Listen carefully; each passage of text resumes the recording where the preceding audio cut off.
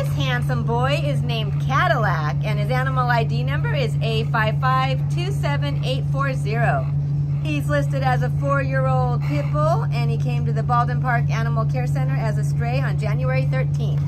What do you know about him, Mike? Well, this is Cadillac, and he's actually uh, pretty easy to collar. He was uh, pretty happy to get out. Uh, he does pull on leash, so definitely he's going to need uh, some leash training. Uh, but once he got out to the yard, he just uh, was just having a really great time running around, chasing after me, just going back and forth, just having a really good time getting that energy out.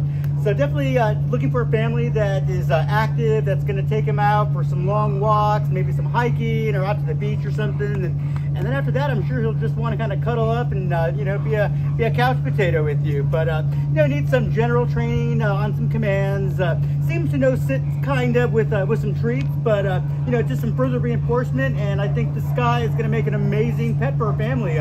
would do better in a home with other dogs that are large and calm. So, if you're uh, looking for a new buddy, come on down and check him out. Aw, he's a hunky guy. Come and get him.